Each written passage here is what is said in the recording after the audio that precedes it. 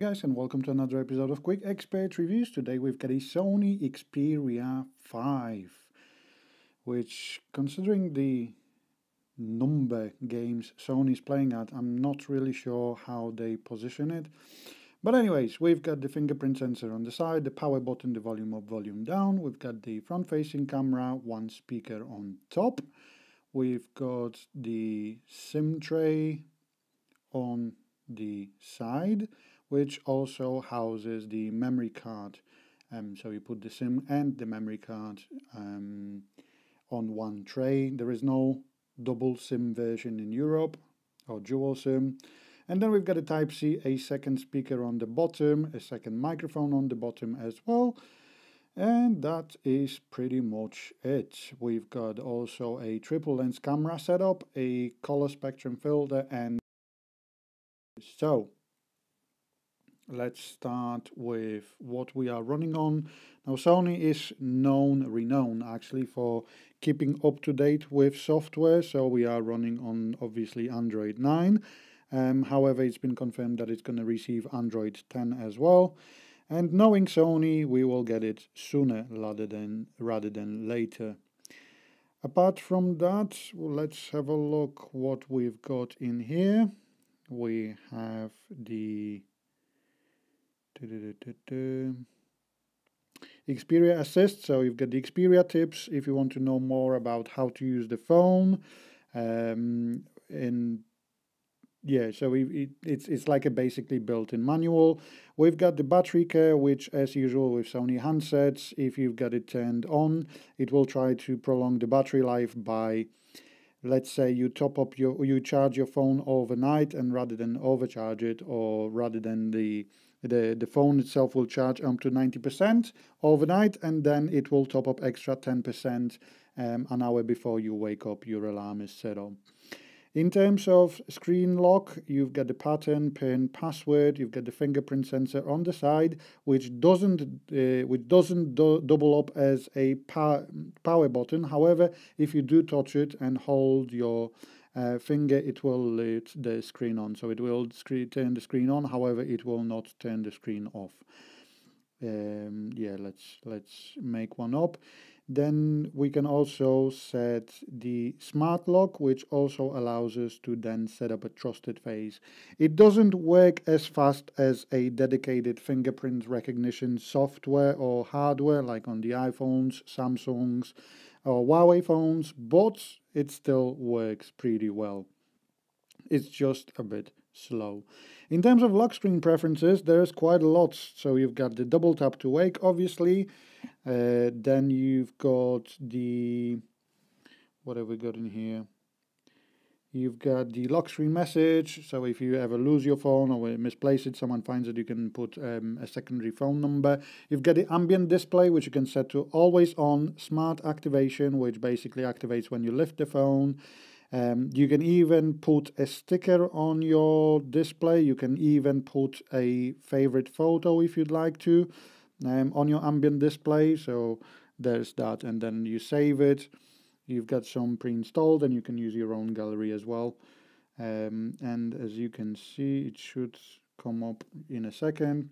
If you listen to Spotify it will show you the album art um, and the current tune playing. So it works really well um, if you want to use it. Demo mode will play a picture after picture from your set um, photos. I would say don't set it up in demo mode because it does drain the uh, little battery on this handset. Apart from that, let's have a look what we've got in here. We've got 128 gig of internal storage, expandable as you've seen via memory cards. In terms of sounds, we've got audio settings, we've got Dolby Atmos, Atmos. However, it is custom built with Sony, so you've got a custom software which allows you um, to go to advanced settings and then if you like to you can adjust the Dolby Atmos to your liking. In terms of music you can change from balance to like for example war or detailed, warm. In terms of movies you can uh, enhance the dialogue. Dynamic is just like an auto mode. Then you've got the tutorial as well and then we've got the custom which does allows us to, to, to modify it to our liking. Um, so to be honest a lot of phones nowadays boast they've got Dolby Atmos, but it's nice to see that you actually get a custom um, option on the Sony handset. Obviously, you do get the DSEE-HX, which um, also enhances the low quality MP3 files to a higher quality. In terms of connection, we've got screen mirroring, casting, obviously a NFC, DualShock 4 native support, and USB on the go connectivity in terms of network and internet. We also obviously have Pocket Hotspot and so on and so on. Then another feature known from Xperia One is the Game Enhancer, which not only allows us to record videos, but it also allows us to record the gameplay while the front-facing camera is on. It also tries to mute, um, if you'd like to, all the notifications so you are uninterrupted. Then we've got the multi-window, which basically helps on that 21 by 9 ratio screen and allows us to use two separate apps, but with that screen, it actually makes a lot more sense. Um, so yeah, if you'd like to, you can use that. Uh, which you can launch from either the main menu, like the press press the multi-window uh, icon, or you can use the edge screen. Um, apart from that, we've got the Cinema Pro, which kind of crashed on me. Interesting. So Cinema Pro, as in Xperia 1, I did a detailed video on Cinema Pro using Xperia 1. Um, however, I'm going to briefly show you what um, what what you can change. So you can change the frames, you can change the lens you're using, you can change the resolution you're recording in, you can change uh, the look. Um, you can also set the ISO value, you can set the white balance, and so on, so on. On top of that, the phone does support Filmic Pro. Again, I did a separate video on that. Um, so if you'd like to, you can have a look into that. It's great addition because, to be honest, Filmic Pro is quite a powerful app, even more powerful than the Cinema Pro. So if you want to use a proper manual mode, like with the white balance, for example, you've got preset settings. In Filmic Pro, you can use manual uh, white balance, so you can adjust it to your liking. Then we can even adjust and use the focus points. You can even change the fo pole focus speed. You get focus markers. So there's quite a lot, to be honest. And it's brilliant that it works really well. Then we've got the screen grab, so while you're recording, you can also capture photos considering considering that you record in let's say you record in 4k that means that each photo will be an 8 megapixel um, photo. So that's a really nice addition. What have we got in here? Yeah you've also got like a pre-installed um, video recorder, uh, video editor, but it's very basic. I would highly recommend using a Power Director or something. In terms of camera settings, we've got a predictive capture. You can turn it off or you can turn it on. So it will try and predict the movement and take four pictures. In terms of lens correction, you can set it to prioritize image quality or lens distortion, so correction for distortion. Side sense, you can use that to take pictures if you'd like to.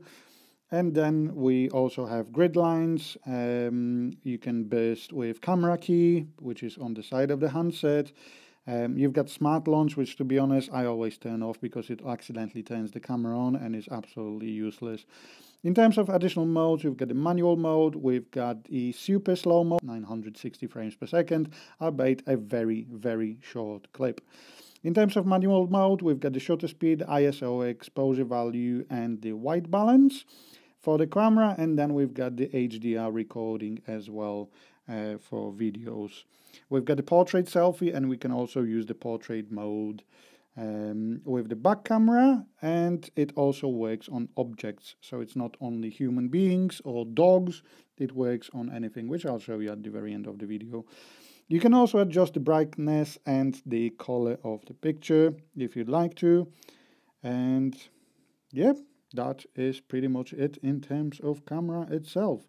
Now let's actually have a look at that glorious Super AMOLED, well, Super AMOLED OLED display, uh, which in my opinion, Sony makes one of the best panels um, in the world. I absolutely loved the one I had on Xperia 1 and the Xperia 5, the one on the Xperia 5 isn't any worse than that. So yeah, really, really enjoyed watching content on that.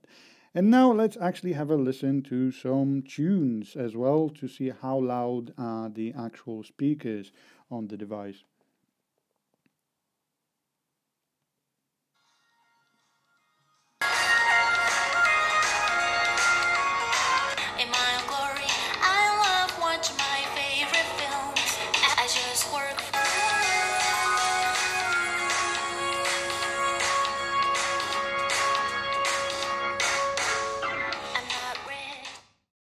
So overall pretty decent handset. Would that change anything? Yes, the battery life is a bit disappointing. One day um, isn't the greatest, but at least you get a fast charger in the box and it takes around an hour to fully charge it. So, yeah, if you've got any more questions, drop them in the comments. Have a great day, guys, and I'll speak to you soon. Bye.